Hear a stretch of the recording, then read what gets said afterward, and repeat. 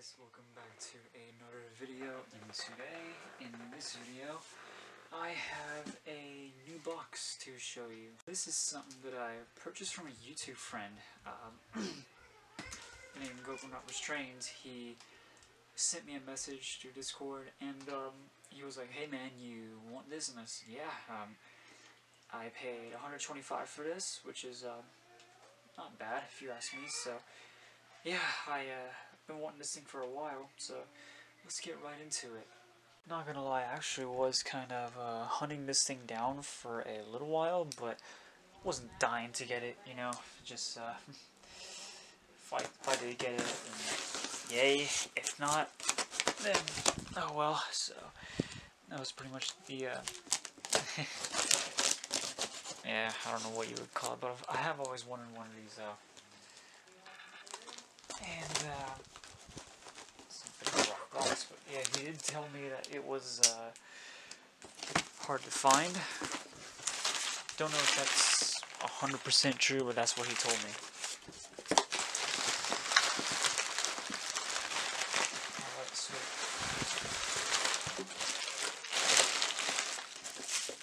Package nicely in bubble wrap. And there is the box itself. Know it's hard for me to get it in shot, but let me get to where you can see it. Right, so there it is, the Rivarossi uh, red box. Let's look at the product code. The product code, if I can get it in shot. Sorry if it's out of focus. Oh, there we go, much better. R5449464 Hudson, Boston, and Albany, number 604. So yeah, that is the locomotive is supposed to be in here. So open this box. Here's the instruction manual. This is uh, based on a J3A. That's uh, New York Central Hudson, but not really worried about, worried about that. Is it upside down? Oh, no, it ain't. And here is the locomotive. Sorry for the cut. I got called out, but yeah.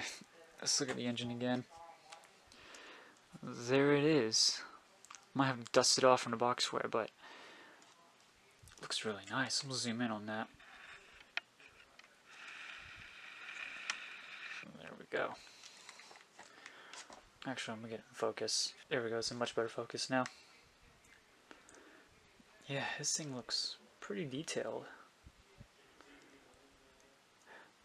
Oh, is that a bit of I don't know if that's a bit of green that I can see from the engine or what, but if it is green, I feel like it's a really, really, really uh, dark shade of green, but it does look nice. I cannot wait to see it running.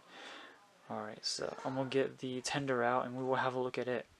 Alright, that was the locomotive we've just looked at.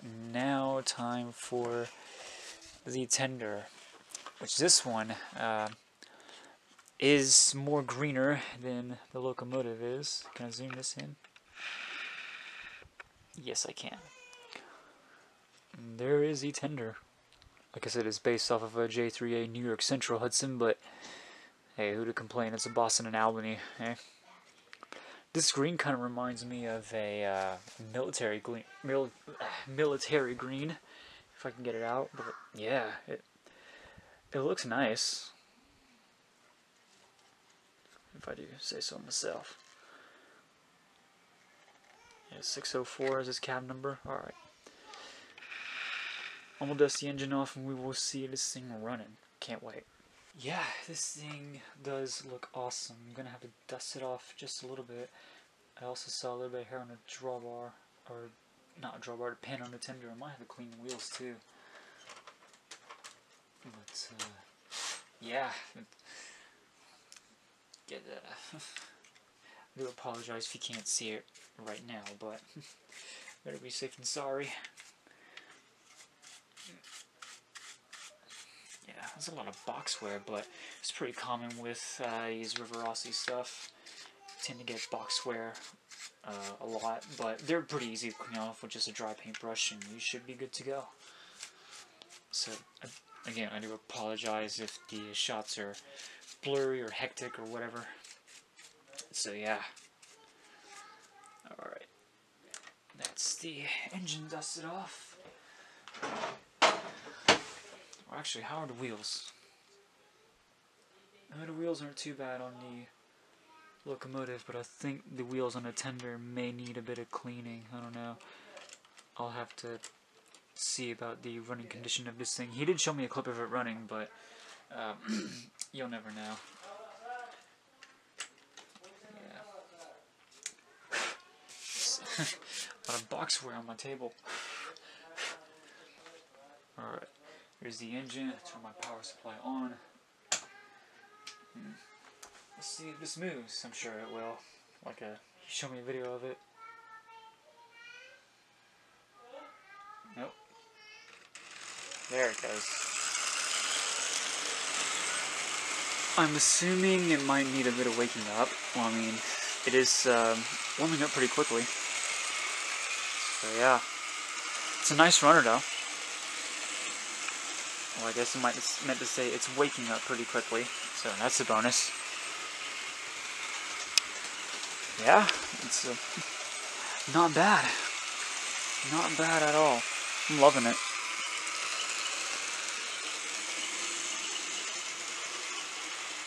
I know a lot of people might get annoyed by this, but the way the tender has a lighter shade of color than the locomotive, in a way, I kind of like it. I don't know what it is, but I kind of like it. It's, uh, yeah, kind of don't know how to describe it. It looks unusual, but rather, even though it's unprototypical, but um, Will did tell me that this railroad did have um, really weird paint schemes in a way, so I guess I can respect that. But yeah, um, that's what he told me, and uh, it, it looks nice, as I would say.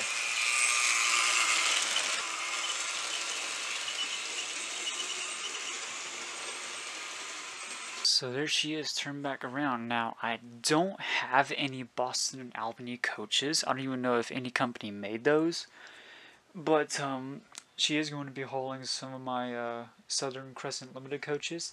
Although the baggage car may be extended just a bit further out from the engine because of um, I don't have the right coupler to um, hook it close enough. But yeah, she's a just going to be hauling those coaches. I don't know if these guys hauled freight in their lives. They probably did some mixed traffic work back in the day, but I have no idea. But yeah, let's haul, let's see it haul some freight. I mean, uh, pff, not freight, passenger work. I gotta get my grammar right. Yeah, I think it's a little bit of dust, but oh well.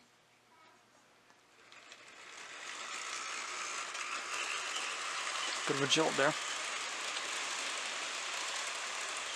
And there it goes. It looks really good holding the, uh, the consist.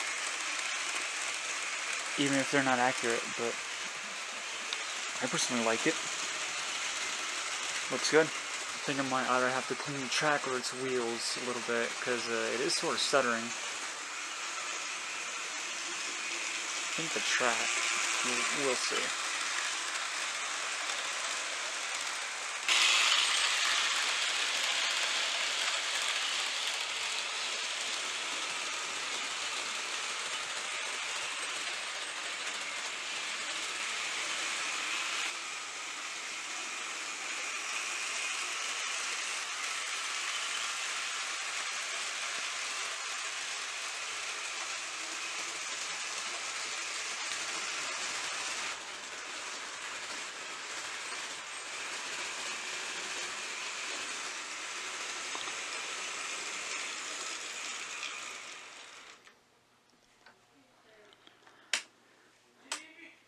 Alright, that was the Boston and Albany uh, Hudson by Rivarossi. This is going to look great in my collection. Uh, I've always wanted one of these, but I wasn't dying to get one. But hey, you know, I'm happy to have it as a welcome addition to the collection. So, yeah, a uh, huge thank you to Will from Gopernoper's Trains for selling me this thing. Um, thank you so much, Will. It's a, a, wonderful locomotive. I'll definitely cherish it. Um, thank you so much for reaching out to me. Um, I do apologize if you've seen it stutter. I'm, I'm assuming it's my fault because I need to clean the track. Or I may have to clean the wheels due to the box wear. But you know, I'll probably get right to that soon. But yeah, uh, thank you guys so much for watching. Um, huge thank you to Will. Again, go subscribe to his channel. Uh, he makes some really good content. But yeah, uh, he makes good Rivarossi content for that matter. He's more of an expert than I am. I'm pretty sure he pretty much knows everything about Rivarossi like the back of his hand. So yeah, thank you guys so much for watching. Thank you, Will, once again, and I will see you guys in the next video. Take care, everybody.